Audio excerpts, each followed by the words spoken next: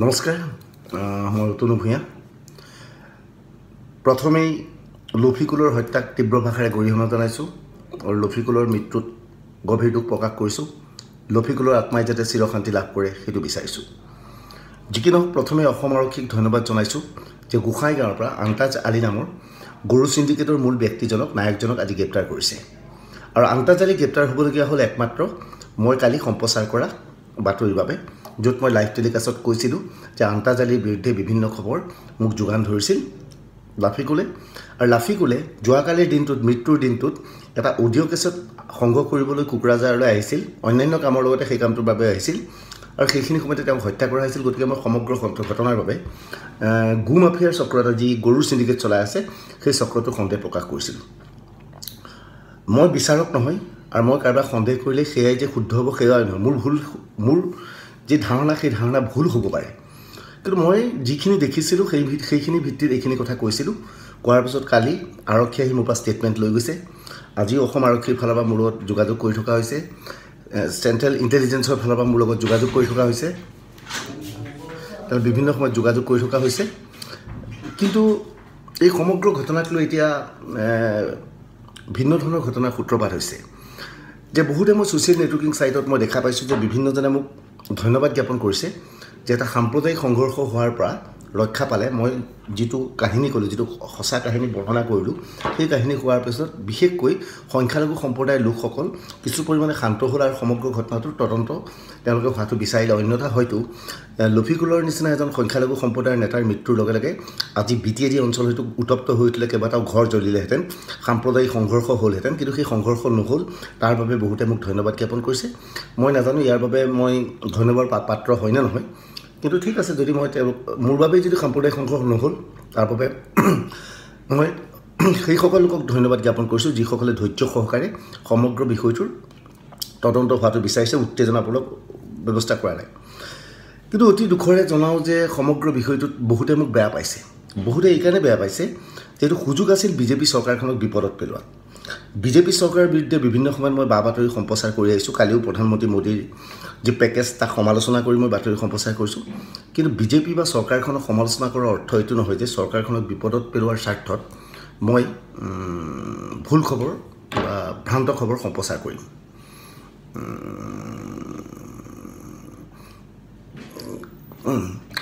মই যিহেতু এই ঘটনাটোত সাম্প্ৰদায়িক সংঘৰ্ষ হ'বলৈ নিদিলোঁ বা এই ঘটনাটো সাম্প্ৰদায়িক সংঘৰ্ষৰ বাতৰি ৰূপে মই পৰিৱেশন নকৰিলোঁ তাত মোক বহুতে বেয়া পাইছে। আনকি বিৰোধী দল কংগ্ৰেছৰো দুই এজন বিধায়কে বেয়া পাইছে।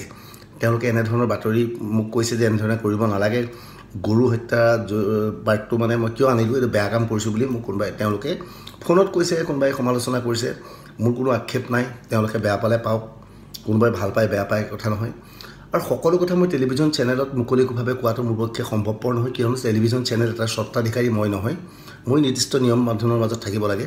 কিন্তু এই মোবাইল কেমেৰাটোৰ সন্মুখত ভিডিঅ' যি ৰেকৰ্ডিং কৰিছোঁ সেইটো মোৰ নিজৰ মোবাইল ইয়াত যিখিনি কথা কৈছোঁ মোৰ নিজৰ কথা।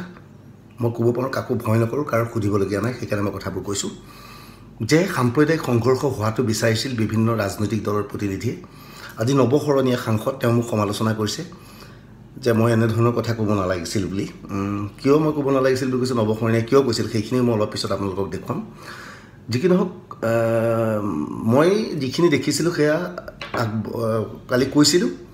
ইয়াত মোৰ এতিয়াও মই কৈছোঁ যে মই যি ভাবিছোঁ সেইখিনি কথাহে কৈছোঁ।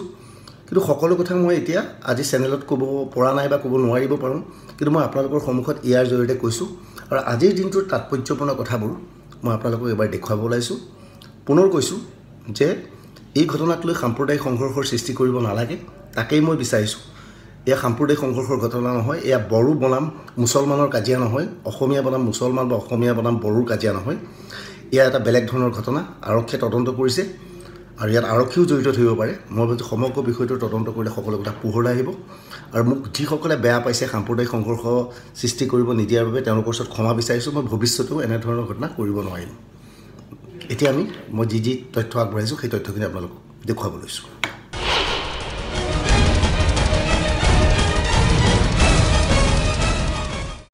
মই দাদাক যেনেকৈ যিমান গম পাওঁ চব কমিউনিটিৰ লগত দাদা ভাল আছিলে।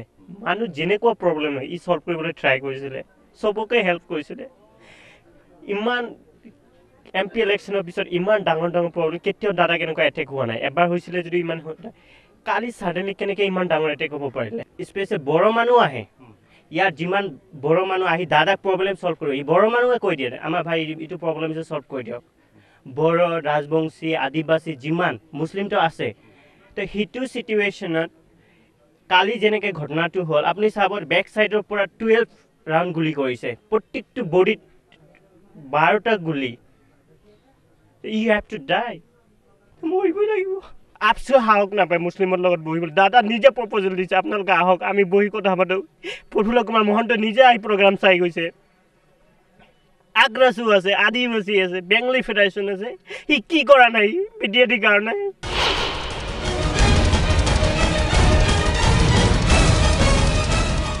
আচলতে চাওক গোটেই কেৱল বি টি চিৰে তেওঁ নেতা নাছিলে গোটেই অসমৰে যদিও তেওঁ বি টি চিৰ এ বি এমছৰ সভাপতি আছিলে কিন্তু গোটেই অসমৰে সামগ্ৰিকভাৱে সকলো জাতি জনগোষ্ঠীৰ বিভিন্ন সমস্যাত সজোৰে তেওঁ কথাবিলাক উত্থাপন কৰি চৰকাৰৰ দৃষ্টি আকৰ্ষণ কৰিছিলে। লগতে অসমৰ সংখ্যালঘু ৰাইজৰ সমস্যা সমাধানৰ কাৰণে এটা বলিষ্ঠ পদক্ষেপ গ্ৰহণ কৰিছিলে।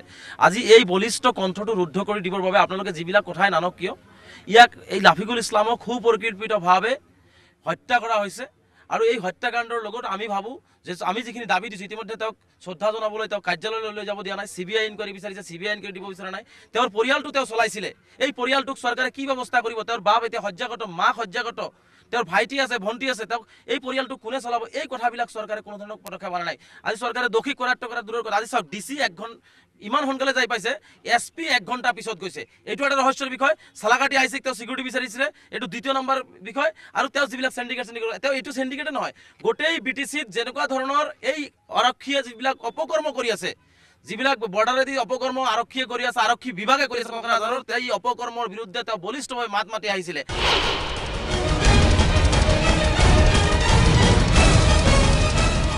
মই মই মানে অতুল ভূঞা ডাঙৰীয়াক বা চেনেলবিলাক মই কৈছোঁ যে এই ধৰণৰ সময়ত মানুহ এনেকুৱা ধৰণৰ আৱেগ হৈছে এই ধৰণৰ কথা কোৱাটো উচিত নহয়। তেওঁলোকে তদন্ত যদি খাতিৰত তেওঁলোকে এইবিলাক তথ্য পাতি যোগাৰ যোগান ধৰিব লাগে আৰু এই ধৰণৰ কথা যাতে নকয় কাৰণ এইটো লাফিকুল ইছলাম সাধাৰণ এজন ব্যক্তি নহয়। কালি সময়টো কেনেকুৱা? যে প্ৰধানমন্ত্ৰী ডাঙৰীয়া আহিছে ব্যস্ত আছে। প্ৰশাসন হয়তো ব্যস্ত থকা বুলি ভাবিছে।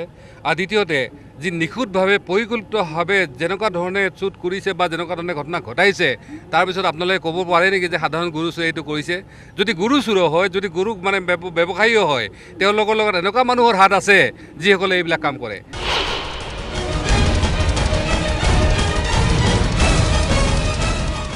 আমি নিজে যাই পেলাই চি এম ছাৰৰ লগত আলোচনা কৰি সেইটো যদি তদন্তটো যদি আমি বিচাৰে তেতিয়াহ'লে নিশ্চয় আমি পজিটিভলি পাম। অহাকালিৰ ভিতৰত আমি পাম। আমি কৈছোঁ এ বি এম চিৰ লিডাৰ আৰু মই নিজে থাকিম। থাকি পেলাই আমি চি এম ছাৰক ক'ম যে চি বি ইনকুৱাৰী হ'ব লাগে। আৰু প্ৰিলিমিনাৰী যিটো তদন্ত আৰম্ভণি যিটো তদন্ত সেইটো হৈ আছে। পুলিচ বিভাগত অলৰেডি তিনি চাৰিজন পিক আপ কৰিলে আৰু নিশ্চয় ওলাব।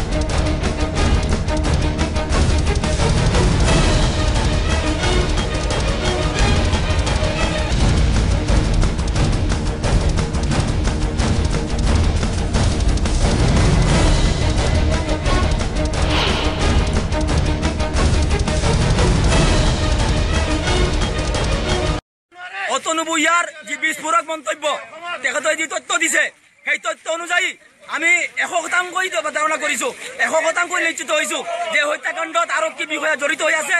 কোকৰাঝাৰৰ এছ পি তেওঁ নিজে জড়িত হৈ আছে। কাৰণ এই আন্তঃৰাষ্ট্ৰীয়ভাৱে চোৰাং গৰু ব্যৱসায়ী আৰু আমাৰ কোকৰাঝাৰ আৰক্ষী অধীক্ষক তেওঁ নিজে এই ব্যৱসায়ৰ লগত জড়িত হৈ আছে। তেওঁৰ ছত্ৰছায়াত এই ব্যৱসায় চলে। আৰু যদি সেইটো হয় আৰু সেই তেওঁলোকৰ যি কথোপকথন এই গৰু ব্যৱসায়ী কতুব কথন? আৰু এছ পিৰ কথনৰ যি অডিঅ' ৰেকৰ্ডিং সেই অডিঅ' ৰেকৰ্ডিং আছাম টকছৰ অতনু ভূঞাৰ হাতত দিয়াৰ কথা আছিল। আৰু সেইটো লৈ অহাৰ বাটতে তেওঁক আধা বাটতে হত্যা কৰা হ'ল। গতিকে অনতি বিলম্বে কোকৰাঝাৰ এছ পিক নিলম্বন কৰা হওক, আৰু এটি চি বি আই তদন্ত হওক, তদন্তৰ জৰিয়তে তেওঁক এৰেষ্ট কৰি, তেওঁক চাকৰিৰ পৰা বৰখাস্ত কৰা হওক। এই দাবি